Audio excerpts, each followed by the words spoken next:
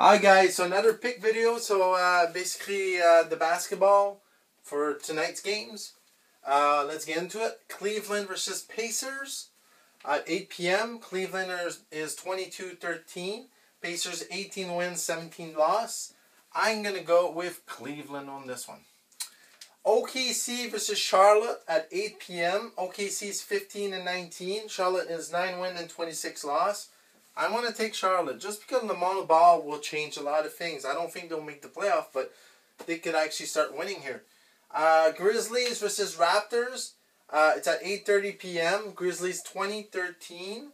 Uh, Raptors is 15 and 19. I'm going to take the Memphis on this one. Clippers versus Boston. Clippers is 21-15. Boston is 25-10.